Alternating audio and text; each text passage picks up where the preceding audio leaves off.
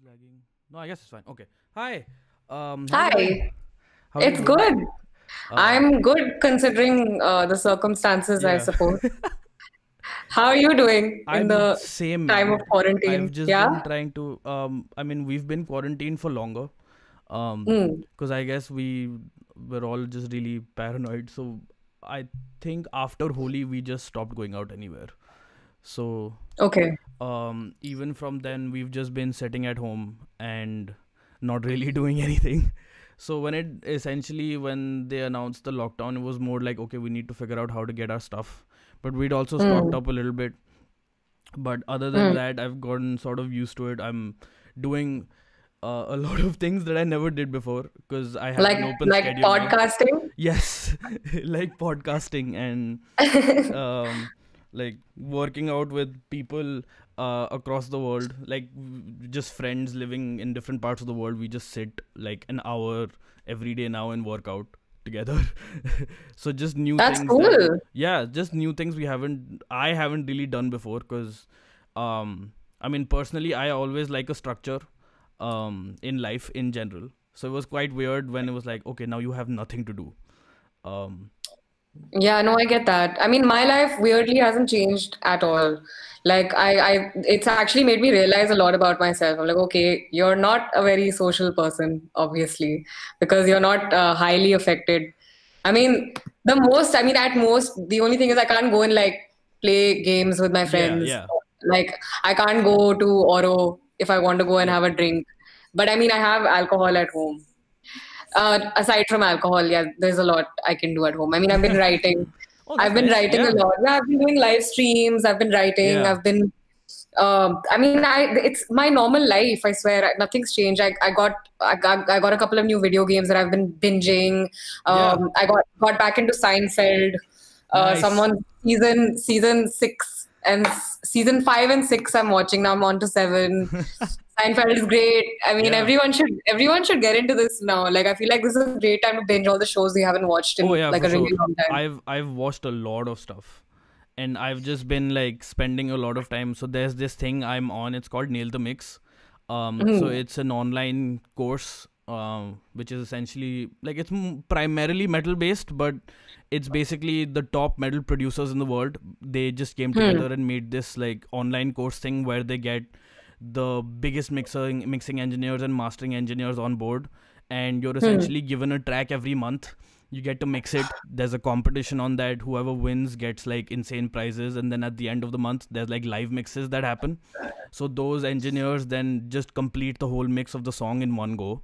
Uh, so Wow. I've been yeah I've been doing that for a while. But uh, I finally got the time to like just sit and completely just go through a lot of stuff so I think next month they're going to have like a guy who did the live mix for the last Opeth live album and the Leprous live album. So it's like um there's mu- there's more than enough amount of stuff to keep you um busy, I guess. That's And true. That's yeah, true. I mean, I think another point that you made which makes a lot of sense is like for most music producers it's generally working outside of out of home only and most of the Yeah. projects you get is just sitting at home and doing whatever you do because yeah.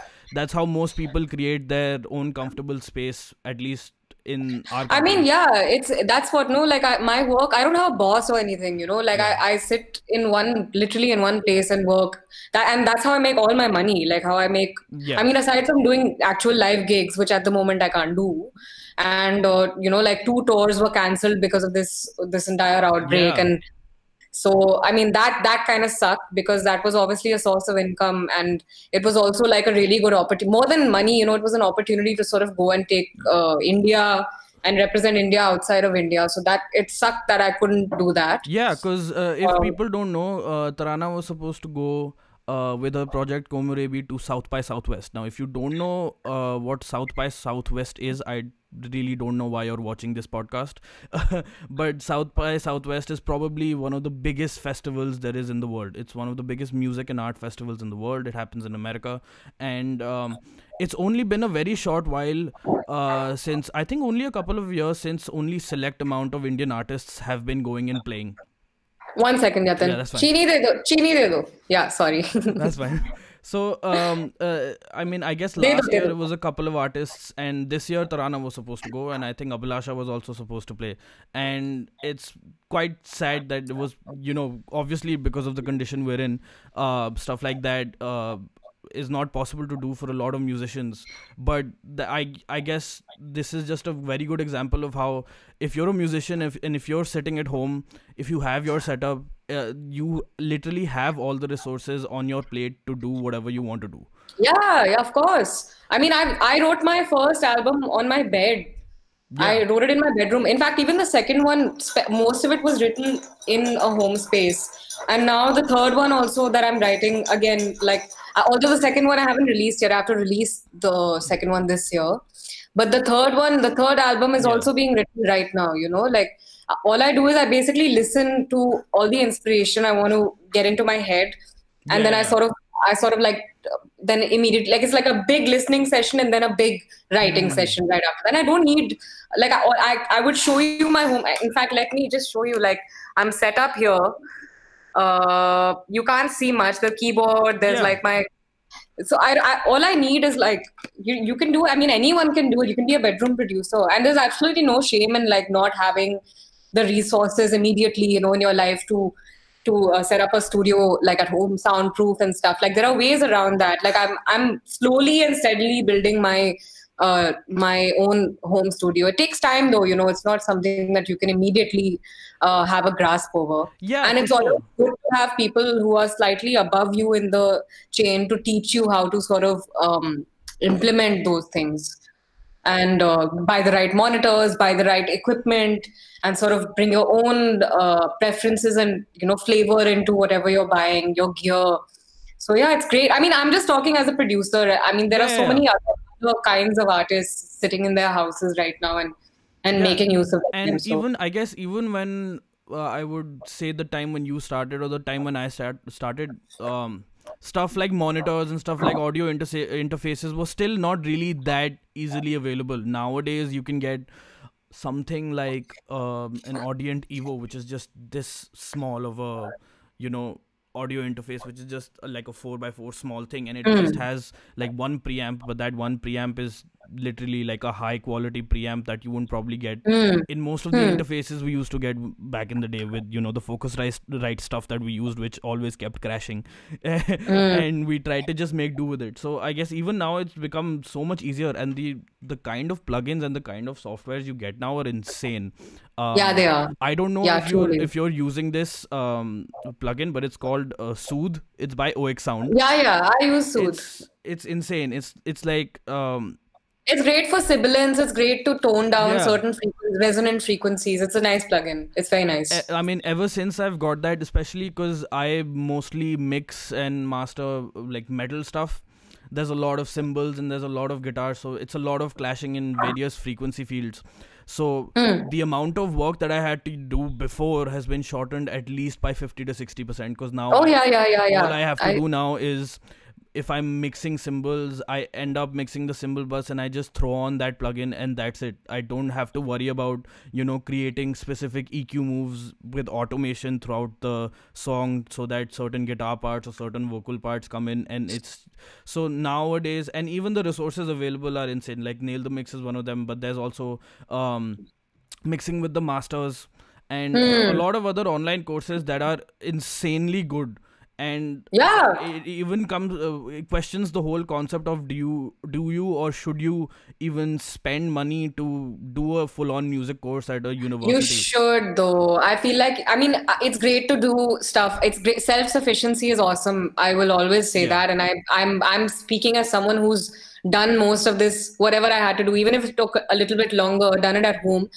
But uh, man, like getting an education and having someone to teach you these things and the associative learning when you have a good teacher, I just feel like it's really important. Like I, I am going to definitely do another course on production either this year or next year. But I'm going to, if not production, then at least on like mixing and you know sort of getting into the whole realm of because I I don't there's a lot you can learn of course at in your house and there are there are a hundred courses and I actually do have the courses you're talking about and we can maybe write them down in the comment section for people who want to learn uh, but I still feel like there's a certain traditional old school way of like I like the I like the learning part because I am like I learned classical piano. I learned um, I learned uh, jazz. Uh, when I was growing up, like a little older, I learned like a lot of things that I learned. You know, I've really applied into the music, and it's it's really helping me. Like it's it's I I feel the benefits of that every day, honestly. So I would say learn production, man. Like I mean, I would always give that advice first. But yeah, you can do it at home also. I've done Yeah, yeah. everything at home, I mean, mostly I at guess home. I guess it's uh, the point I was saying was there's a lot of people who just really get um, intimidated by the fact and they're like, oh, I can't really do this until and unless I go somewhere and spend money and learn. no, no, Um, you can do it at home. which yeah, is yeah. I. I I guess now you have both the options available where you can l- sort of learn your basics and even hone in on your on specific things but if you want to expand and actually get into real environments like i'm sure like a lot of people don't really have access to a good quality studio um Right. so if you'd be able to do a course you'd you'd you know be able to get that hands on experience. Um even if you've already worked on uh, stuff on your own and you know how to do your basic stuff. Um, but yeah that's a, br- a brilliant segue to talk about what i wanted to start the conversation is with how your music journey started because i don't really think people know that because people sort of realized that you were an artist when you came out with your music and it was your first ep that sort of introduced people to your sound. But obviously there's a entire course that you would have taken before it, it, to getting to that first place in itself right? Uh, so how did Yeah. that process start? So, are you talking about Komorebi specifically? no just like, you in general just you in general just like how did music become a thing in your life and how was it something that you decided to do Um, well, I mean, I realized at a really young age that I had a skill set. Like my parents realized actually. It's not like I was uh, self-aware enough, but they were, and they picked up on it, and you know, they sort of threw me. They sort of they were like those helicopter parents, but not for not for uh, engineering or uh, or medicine. for, They the, for the artistic side. Yeah yes artistic helicopter parents. So they sort of pushed me into courses at a very young age. At seven i was playing beethoven. Oh, and you know i was that typical asian kid who's like crying and playing and got you know like getting everything together like and like sort of like all over the place like no social life working working working working for years so i was always that kid you know type a. And uh, and then from classical piano it went into like I, I I came I shifted to India. So there were like a lot of uh, music societies in school and college and I took that stuff very seriously for some reason. So uh, like I was always hell bent on learning more and doing more. So th- there were like there was choir singing there was um, then I joined GMI Global Music Institute which is at that time was in Lajpat Nagar in Delhi yeah, and now yeah, yeah, yeah. Whole, they have a whole Yeah, crazy yep. big institute in Noida now, which I recently checked out. It's fabulous, like for anyone who wants to learn. And anyway, so I, I went there and I picked up jazz, I picked up theory, I picked up like I, I joined a bunch of ensembles, and it was great. And at that time, it was all the rage to sort of get into Berklee. So that was a whole thing. I had that phase where I was like, and I will go to Berklee. and I, I had like, I mean, I didn't have any vision that I would be uh, into electronic music at that time because I didn't even have a repertoire of electronic music. Honestly, the music I was listening to was different. And I think when I, it's when I came to college and I met so many interesting minds and it was sort of this melting pot of all these all these crazy different people from around india and and a lot of them introduced me to the music i like now like you know trip hop from the 90s and electronic music from the 90s and and then i got a laptop when i when i turned 18 and i started experimenting and somebody one of my closest friends uh, at that time veda was like you know you should you should put this out as an EP. Like you should, what you're doing is really cool, and you should release it as an EP. And uh, I was like, oh, okay. Like I was literally just sitting in my room, like the way I'm sitting here right Yeah, now, yeah. and just sort of. I wrote my. Let me tell you a secret. I wrote my EP on the computer keyboard, like not even like a Oh, so keyboard. not even like uh, keyboard yeah no, Yeah, yeah, no. The whole the whole thing was just uh, G H F D A S. Like the, that was what I was using for my beats, for my uh, everything because DAWs have all the sounds inbuilt yeah yeah in them. yeah yeah So I just I was just picking and choosing sounds. Like obviously I didn't have any knowledge of Kontakt or or uh, external VSTs at that time. So I was just using Logic inbuilt sounds and bragging to people. Like I'd be like, oh, you know, the Logic sounds are better than the Ableton sounds, guys. I mean, like, they still are better, but uh, I mean, no, but I mean now I know that there's a whole archive, yeah, like which yeah. I, at that time I had no clue, no clue, zero. But uh, I released the EP and I did some really cool art for it uh, with yeah, Parthiv Goyal and Shambhavi Thakur. They painted my body and my face with neon color, and it was. And then suddenly the EP did really well. And honestly, I did. I wasn't expecting anything from it because I didn't even reach out to. I didn't do PR. I didn't do any. I just put yeah. it up online. At and, that um, time, I think don't no one who was coming up as an artist really understood PR in a sense because that was uh, I guess at that point of time, Facebook was really where you could spread your stuff. Like the algorithms weren't in place that are like now that essentially force you to pay to promote stuff. It was all completely open. So if somebody posted something, you would definitely see it. And it was also at that time where if you would to post a SoundCloud link or a YouTube link, people would see mm. it. It wouldn't get bogged down in the chain of everything else. And I still remember the first time I saw anything by you was that picture. And i was like this is real. I i know this is not photoshopped because it didn't look photo look photoshopped and i think that was uh, it goes back to the point of the basic point of introducing yourself as an artist and making that first impression count. Like if you put something like that out even if mm. somebody hasn't heard your music they're definitely going to be interested because it's something they've never seen before or before because it's something that's really not common at mm. that hmm. point of time because i that was still that point of time i was in school where uh, metal was the thing in delhi mm-hmm. and it was just the usual four bands in a line black and white photo for every single uh, band photo shoot or anything like that so it was yeah. definitely something where i was taken aback and then i heard the music and then when i heard the music because also at that point in time a lot of electronic music com- was coming up but it was all edm and it was all stuff that was really sort of repetitive. I still think it is quite repetitive, and I wasn't really a fan of that. Um, and but I wasn't really into electronic music either. Like Mm. It was after listening to your stuff that I started getting into a lot of electronic stuff. I I think one band oh, that I, oh, yeah. That's such a sweet thing to say. I'm so touched. No, Thank no, no. You. I mean that that's fact. I'm not making that up like uh, to make you feel nice or whatever, but that's that's how it was and I think the first band that I actually heard properly after listening to your stuff because I wanted to look for something that sounded relatively similar and although it was dark it was massive attack that i had found after that and i was like okay what? Like this this space of electronic music is something that i really want to listen to. Um, massive attack changed my life. Massive attack changed my life. Like i i still i still i think i listen to their music once bjork i listen to every day. Uh, massive attack i listen to once every two days.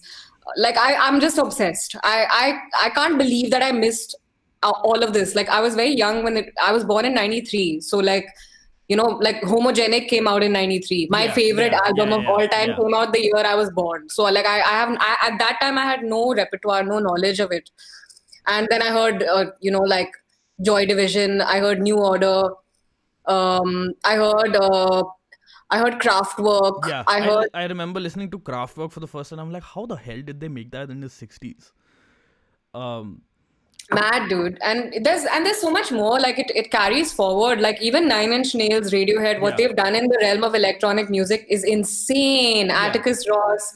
I mean these are my my pillars. And then there are women in music. Like for example bjork imogen and grimes for me these three yeah, women are like they're visionaries. Like i don't know how they've done what they've done. Like they're really really really even imogen like what she's done with vocal harmonies and what she's oh, done with like definitely so all of these things really inspired me and it's very i think it's very clear in the music for people who know yeah exactly. influences you and know? I i mean even if you didn't know how to produce back then like I think it was pretty clear if you were to look at it back at it now, the vocal lines and the vocal melodies are have that very airy kind of sound that ang- angelic kind of a thing which is sort of synonymous with the kind of vocals you write now i mean now obviously because the later releases are more produced and they're more thought thought out there's like a good amount of delay and reverb that supports that but even at that point of time it was very sort of the music the music is sort of a bass line and then the vocals are sitting on the top and they Mm. just sort of float through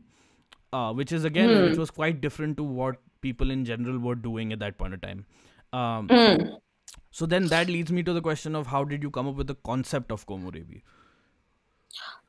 Hmm. Um, so this is a whole other part of my like my life and personality. So when I was growing up, I didn't have a very decent home life. Like this is not something I usually talk about. Uh, but I mean, I'm just talking about it because we're talking now, and it's quarantine, and we might as well just talk about it. So I didn't have a very decent life at home. Like I had a difficult time, and I would sort of resort to escapism and go into sort of like watching like anime and watching and playing video games and sort of like I got into a lot of pop fake and like I- got into that realm of sort of like escapism in my house. And so I got very inspired at that age to like watch anime and listen to the soundtracks. And what I wanted to do initially was actually like get into scoring, which is what I'm doing now. yeah, like at yeah, yeah. at 26 which i'll talk about whenever you ask. But uh, but but at that time like for me it was a really big deal to like I, I found it very very inspiring to listen to these soundtracks and and japan became a huge thing for me. Like I, I was like oh my god like this is amazing. The cosplay the the general life in their art the the uh, the animation all of that became such a huge influence on me. Like i wanted to be a part of that world so badly and uh, i think that's where komorebi came from because again the same the same person who told me to release the ep at that time veda he found the word online and he was like this is a really beautiful word. And i was like okay you're right. It is a it is actually a very beautiful word and maybe we should name the act that you know? Like it's i know i'm from india but like this is something that is so integral. Like it's like a pillar of my personality. It's like a huge part of who i am and what influences me. So and then that's what the first ep that i released was actually just meant to be like it was inspired by you know one of the songs called miyazaki's dream Yeah, yeah. and the other yeah. the other song was called kyoto breeze because i had written like it was inspired by spirited away this movie by miyazaki um, where i i pretended that you know haku was writing the song to chihiro who's the girl in the in the movie um and, anyway you should watch it it's on now it's on I netflix have, I because have, I have. I, I was also heavily into anime, so it's like something that I really relate to as well. Uh, and this was also interestingly something that I also talked with uh, when when I was talking to Suyash. It's like um, we as Indians had a really weird upbringing where, like, I still remember I would get uh, my uh, my um, primary school was like a kilometer from my house. So it was would start at 9 in the morning. So it would just take 10 minutes for me to reach school. Um, so 8 o'clock would be pokemon and 8.30 would be dragon ball z. And um, yeah. inevitably because you know you could only watch dragon ball z till about 8.45 am and leave uh, there was a repeat of the same of pokemon and dragon ball z in the afternoon from 2.30 Yeah. to 3 and then 3 to 3.30 so i would then come back from school and then finish that dragon ball z episode at 3.30 and hmm. uh, I think it was a very. It, it, I still don't know how that worked out or how the cartoon Cartoon Network worked out in our country, but we had a plethora of Japanese anime that we watched Yeah. as kids growing up, and uh, whenever someone asks me, because uh, again, Japan is something that I really think is a mysterious land, and even though I've been there and come back, I still haven't been able to figure it out, and it always has this sense of mystery and wonder um, that I don't think anyone can really understand until and unless they live there for a long period of time. Um, so whenever someone asks about it, this is a question I have been asked by various people as to like why do Indian artists um, have this Japanese thing going on and why is it you know coming up more and more with various projects? And it's because it was actually a part of our livelihood. It was it was what we did when we grew up. So um, you know that whole same thing I, I guess i didn't really get into video games that early but it was definitely that and uh, that was right from pokemon to duel masters to dragon ball z to beyblade to yeah yu-gi-oh we had all of that Um, yeah, that was that was my childhood, dude. Like that was everything. Like that's all I was doing. Like I had nothing else, honestly. Like that's all I was doing. So I mean, I wasn't a Barbie girl. Like I wasn't. I was always Yeah, yeah. into. Um, I, I think that's also because I had a younger brother and we did everything together. So it, uh, he sort of like he he was always like, "Didi, come and check this out," and I'd I'd get damn excited about it and go like, "Oh my god, oh my god, when's the next episode out?" And like we, we really really got into it. So yeah. Yeah i think i think uh, india is there is an, a japanese influence on india. I, I do have a lot of weeb friends like people who love anime. So So how? So you put the EP out, and I, I, I, guess you didn't really think about anything. You were just like, okay, this is one thing that I want to present in a certain way, and you did Yeah. that, and then it just took off. So, yeah it was one of the most pure it was a very pure release like a very innocent and pure release and and it did really well and then i was like okay now i have to sing because the first ep was mostly instrumental yeah, So then I went to Cotton Press Studio and I, I worked with Rohan Ramanna and uh, like he he helped mix and did some additional production. At that time, I wasn't like I was trying to produce, but I wasn't there yet. You know, like where I can say I am now. But he really helped me. Like he really inspired me to do better. Like I was I was just I, I was like maybe 20 years old at that time and uh, I wrote soliloquy at in Bombay that one month, and every day I was at Cotton Press, like I was living at Cotton Press Studio, and I sang on that album and did a photo. Then there was like this whole scene where. I was like, okay, we have an online presence now, so I had to do like photo shoots, and I'm somebody who doesn't. I'm not a big fan of like I don't like social media or cameras or like any of this. Like honestly, if I didn't have to, if I didn't have Komorebi, I wouldn't. I probably wouldn't be on social platforms. Like I, I'm not a fan at all. Um, but but I did the shoot, and it was kind of cool because like you know the me that you're talking to right now is like this this nerdy, uh, geeky person Yeah. who's but but the me that's on stage and with the clothes and with the cameras is a completely different person so i kind of like transform like i kind of like yeah, yeah, yeah, I get what you mean. Yeah, change into that avatar for Como, and and that's the avatar that I present to the world with Como. So and yeah, then the the album released and people really started like picking up. It it really started picking up the music, and that was in 2017, I think. yeah. Yeah, No, but like even before that, you were really touring extensively. Like you were playing Yeah. a lot of shows, and Yeah. um, how did that come about? Because I'm sure at some point of time you would have had to make the decision of, okay, now this is a thing where I can actually make it a reality where I can go out and play and people would probably come. Um, and for that, obviously, I guess eventually you came up with a band, but you also had that setup where you could either do the band or either do the entire thing yourself. it was all it was all trial and error, and also uh, like It's gonna sound funny, but honestly, I just lacked the self awareness to be scared. Like I was never. I was never afraid of what may or may not work because I was just a kid and I like I was excited about everything, you know, like whatever opportunity came my way, I was like, let's do it. Whether you want to come to Arunachal, let's do it. You want to come to uh, play this, yeah, let's do it. Like I was, I was like always like, you know, on board and and and very uh, enthusiastic about all opportunities presented to me. And and I think there was something uh, exciting about a young girl also doing like working with gear and sadly i mean I, I wish that i wish that it wasn't a rare occurrence and now it's slowly becoming less of a rare occurrence but but yeah it, there was something exciting about seeing i think seeing a girl operate gear and and play instruments and sing and produce her own music. And that's sort of what's carried me forward that independence and self-sufficiency you know and and uh, and and also of course just the music like the content. If your content is good then people will listen. They will Yeah. book you. They will they will want to see more of you. I mean the rest is just smoke and mirrors honestly Yatin. like anyone can look uh, fabulous on instagram or exactly, facebook. exactly, yeah. you know and, and it's really easy to to make yourself look like a talented person. But Yeah. be doing doing the hard work is Yeah, yeah, what's going to bring you what's going to bring you the success. And it might be long uh, a long process. I'm not saying i'm not speaking like somebody who's i'm not billie eilish.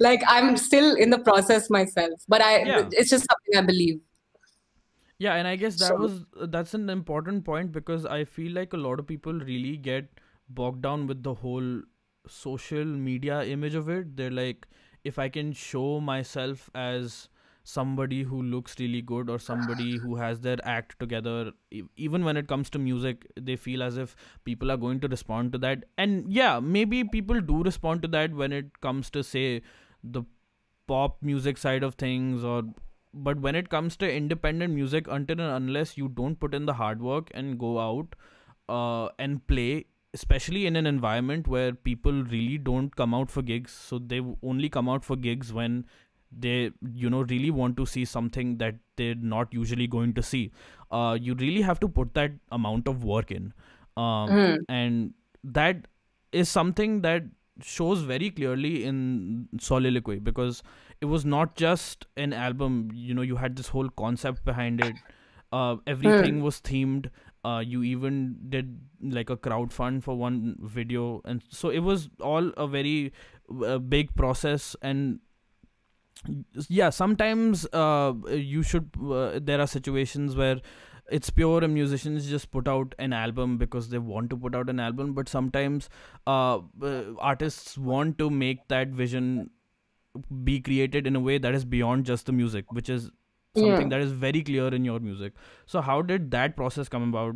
Because obviously soliloquy is in a sense a thematic record although if it's not it's not necessarily a concept record as how concept records go but it certainly has a theme and idea behind it um, the whole idea of candyland and the whole thing that you came about um, how was it working on that aspect which was not the music aspect? Because um, that certainly ha- uh, you know puts you in a different mind frame because the music is something I, I mean at least for me personally when i had to do it for my album the music was something that was innate and easy for me to do.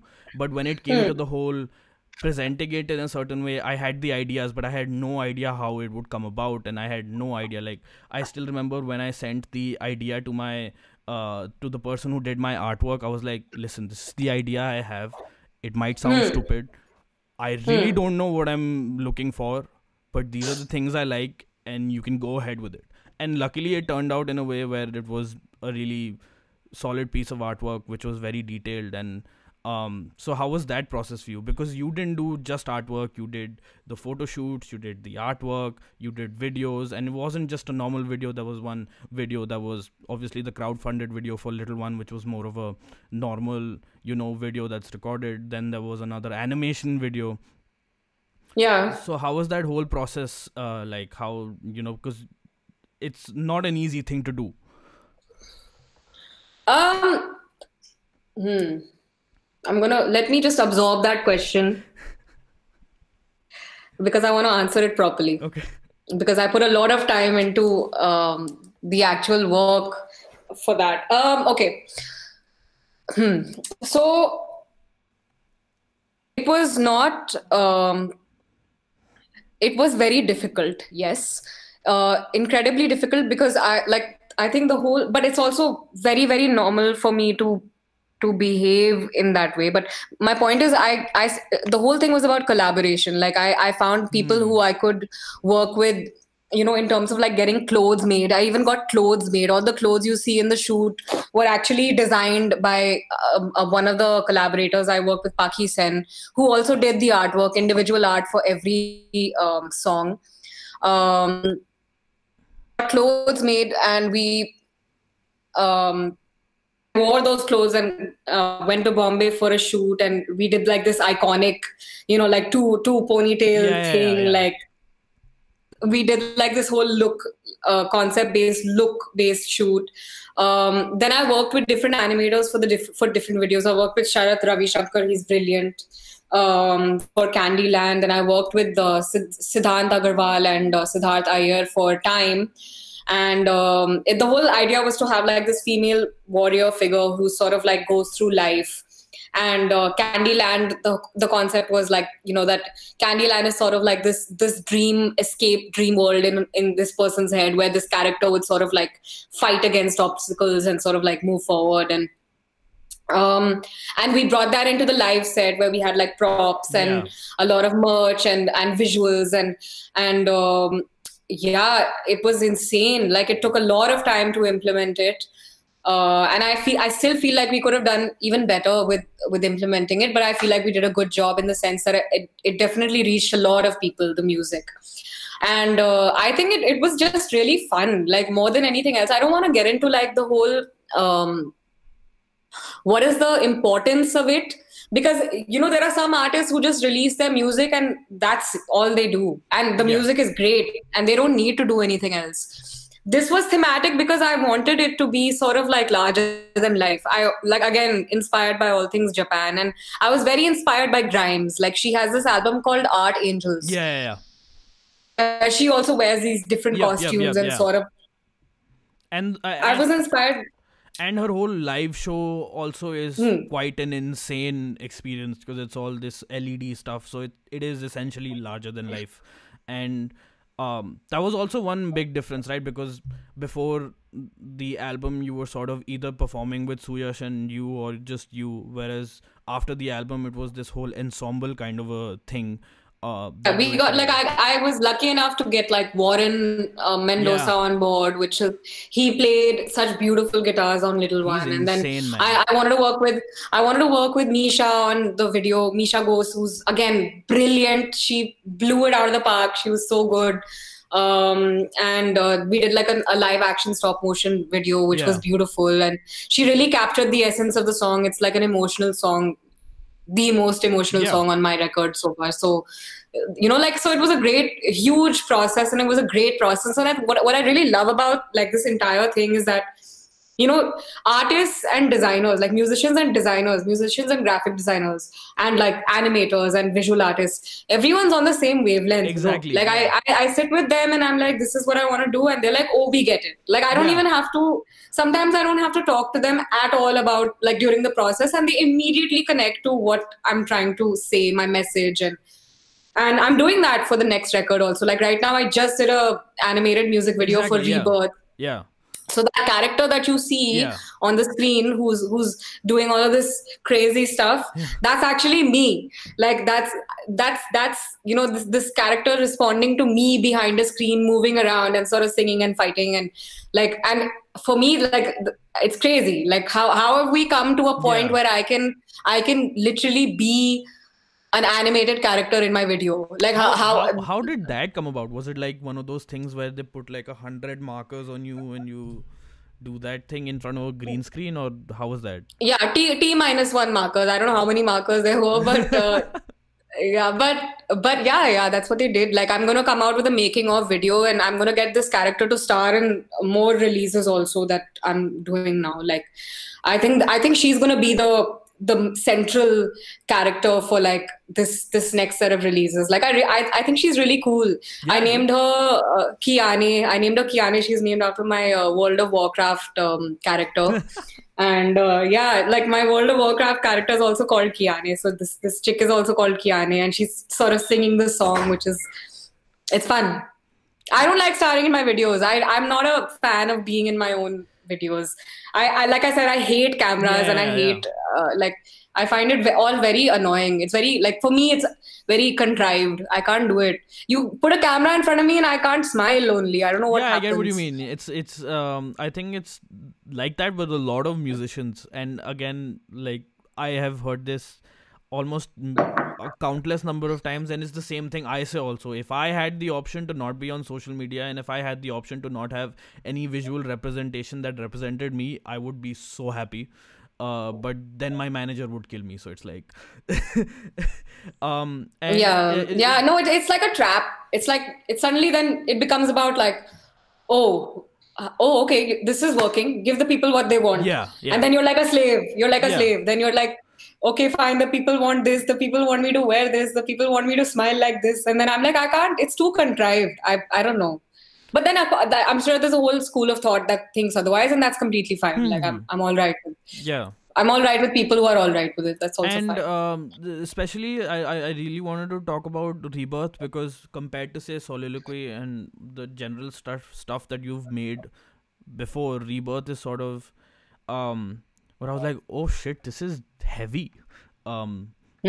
and this is like dark this is interesting um So how did that change sort of come about? Because at first, like your sound was largely very sort of mystical, Dreamy. yet dreamy, but very melodic also. So it had that. It had you know those hooks and uh, things in places which still rebirth also does but it has this like very heavy uh, sort of i mean it reminded me a lot of about of boom bap and the sort of whole grimy uk sound actually and i was like oh this is something i've not really seen in this uh, style so how did that come about what was it just that same process of just listening to stuff and writing or did you have a conscious decision to that you wanted to change something Hmm. Again, I'm thinking about that. Uh, no, man. It was it was like a. I I always wanted to write a song where I was sort of it's like a clapback song, you know, like Yeah. where I was like, sort of like, hmm, Hmm. like, yeah, guys, back. um, so I'm back. um, and I was, and like there are a couple of artists that I listen to again who are who are really um, who also have songs like that in their repertoire. You know, like Björk has a song called "Army of Me," Hmm. and uh, that whole song is about like self-sufficiency, and she's sort of like singing to herself, and she's like, you know, you'd better you'd better stop it, like stop whining about your life and get your shit together. And I really like that sentiment and what i wanted to do is my voice and my my energy like vocally and when i'm bringing that energy vocally it's usually like and soft and, and dreamy and you know Yeah. breathy and Yeah, what I yeah. Wanted to do was juxtapose that softness the softness of that with something dark and heavy. Uh one second. Uh, hello. Really, really so one second one second. Hello? Yeah could you repeat that? Sorry. Where, where did you hear till uh, uh you wanted to juxtapose the whole soft dreamy vocal with like the heavy instrumentalization. With something yeah because i thought it would be really interesting for for uh, us to to to hear these two worlds combine like one one soft world and one really hard hectic heavy world. Yeah. You know it's it's like it's like this this it's like when you visualize it at least for me i always see this small girl in this have you seen um sucker punch? Yeah. Sucker punch was Uh, was okay the i get what you mean. Yeah i I- get what you mean. Yeah yeah yeah yeah so sucker punch was my my visual aesthetic there. I was like okay sucker punch like you're you're this girl fighting against all these evil monsters Mhm, in this asylum. Yeah yeah yeah and yeah, I, yeah. I, and I haven't heard like uh, again I wanted to do something novel in in the country we're in. Because right now again people are people are well attuned to first of all nobody's listening to english music. The, the english music that's there like that's is is still we're still indie. Like we're very Yeah, yeah, very yeah, indie. definitely definitely and, and in the indie within the indie also there are categories. So like i think a lot of people can still relate to singer songwriter uh, music. But i don't think a lot of people have heard electronic music where where you know they have these really these worlds colliding you know? Yeah, like these yeah, worlds definitely, haven't yeah. it's all novel novel stuff. I'm just like uh, catching on to that opportunity. I'm like okay people haven't heard this yet here so let me try and introduce it. Even though it's my concept I've, I, people have done it before me but i mean you you are what you write i mean sorry you are you, you write what you listen to essentially Yeah, yeah, yeah. yeah. It's So- just uh, obviously it's just uh, it's just the way you combine different things you listen to in a unique way, which creates a unique experience that somebody might have not heard before. And yes like even something as simple like um something that has become more and more popular recently in the whole metal realm, realm is you have the same structure but it has you know been now it's being fronted by women. So now you have various bands that are catching a lot of attention where the music is really heavy but the vocals are really soft and nice and melodic. And i didn't know that. That's news for me. Yeah, and uh, I mean, there's this band called Spiritbox uh, from Dallas, I think, and I absolutely love them because the whole instrumentalization is what I love. It's that whole tesseract, heavy, syncopated stuff, uh, you know, supported by these big choruses, but then it's a lady who's singing who has this juxtaposition between a really nice solid dreamy voice and then when the heavy part kicks in she's like growling better isn't it wasn't there also like a band called zing, zing no gin Jinjer yeah mm, Jinjer yeah Jinjer. Jinjer yeah, Jinjer yeah, yeah. yeah, that same thing and uh, uh, rebirth was sort of that song where i went like okay i can see some similarities there where the, you're trying to do something different. Uh, and um, that brings me to what is uh, i'm going to ask about like the scoring thing is sort of included in this question is what outside of komorebi have you been doing and what are you currently working on? Because you've already said that you finished writing the second album and you're already writing the third album. Um, so what is currently in store? I mean we don't know how long we're going to be in this. So um, uh, the whole concept of deadlines and everything has sort of been miscued but i'm sure you have a mental map in your mind as to where you want to go. And so that's like a two parter is one is what have what else have you been doing and what is sort of the future for you at this point of time? Um, I'm uh, I'm doing these two albums. Uh, the first album is ready. I mean, the second album, yeah, yeah technically, yeah. Uh, is ready. It's been ready for a while. I've just been trying to figure out how to package it, and now I think I'll have to do something DIY-ish because yeah, we can't exactly. really move. Exactly. uh, so, but the in Hindi actually. Okay like and i haven't spoken about this. I've kept it on yeah. I don't like i i like just releasing things. Like i don't like mm-hmm. um hyping them up. So i don't want to hype hype this up. I just want to drop it. But um but yeah it's in hindi and it's it's under komorebi and it's like it's really different again. Like i i've done four tracks in hindi but they're they're all like sort of my realm of hmm. uh, of sound. Yeah, yeah. So so i mean let's let's see how that does. It's an experiment. It's they're all heartfelt songs though but it's an experiment. So i want to see what happens with that. Um aside from all of this i'm i've been scoring for netflix and amazon because i yeah. uh, that's the i'm into which i think they go together hand in hand. Because some of what you write like the way you write for your own for como the way i write a lot of that influence goes into the way i score also and vice versa. Mm-hmm. so so I'm scoring for like I just did uh, the music for Made in Heaven with Gaurav Raina, and now I'm doing two more, three more shows. Made in Heaven season two. Then there's this show called Fallen, uh, which is espionage, and then there's a third show called Bombay Begums, which is like about um, a bunch of women working at a bank. It's like sort of like a feminist show, a really interesting show that uh, looks into complex complex women. Yeah.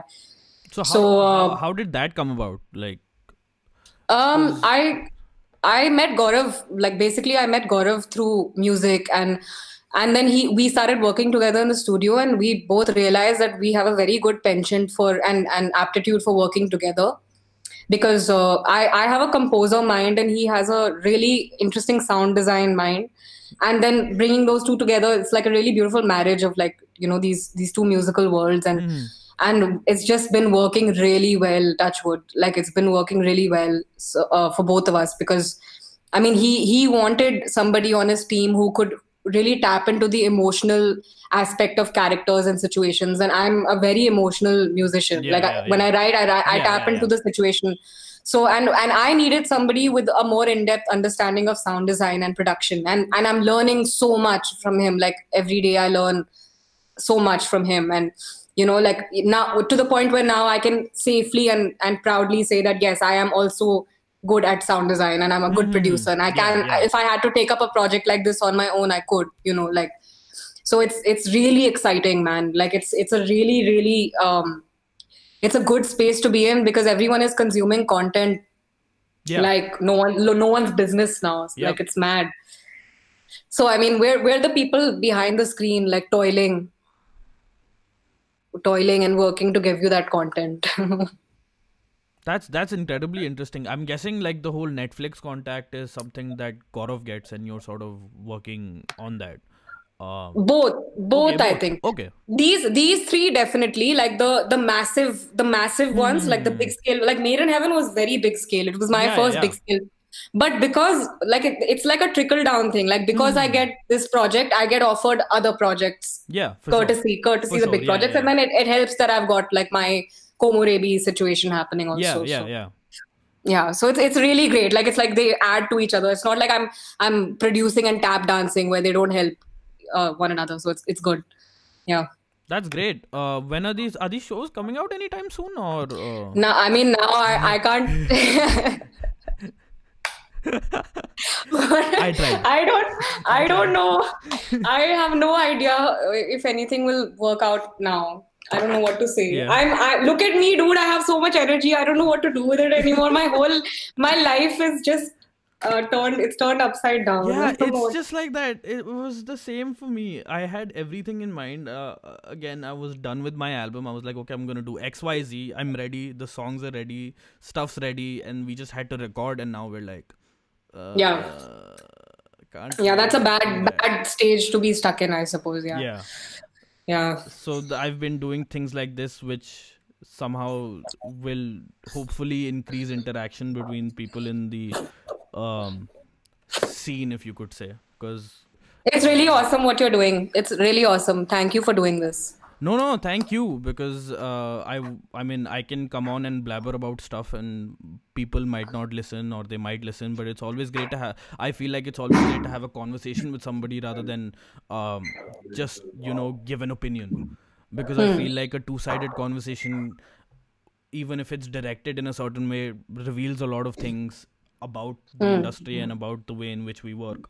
So yeah, thank you so much, and thank you for taking the time out to talk to me. Uh, it was absolutely wonderful, and uh, Excited to hear your music also whenever you're done recording it. Yeah, Hopefully. that'll be fun. Yeah. Uh, currently, I'm just trying to not be um, vacant, and I'm just I've just been doing these like vocal covers and guitar covers to just be in practice. Um, so yeah, hopefully. But again, thank you so much for coming on. Um, Thank uh, you. For people who want to find you, where can they find you? Um, if all socials, check me out on Spotify, Komorebi, K O M O R E B I. Uh, Instagram is at komorebi.music. Yeah. Okay, thank you so much. And uh, I hope you have a wonderful evening and the rest of the day. And I hope that the rest of your time is um, productive. And yeah, Yeah. yeah. Cheers, man. Thank you so much. Bye, guys. Thank you. Bye.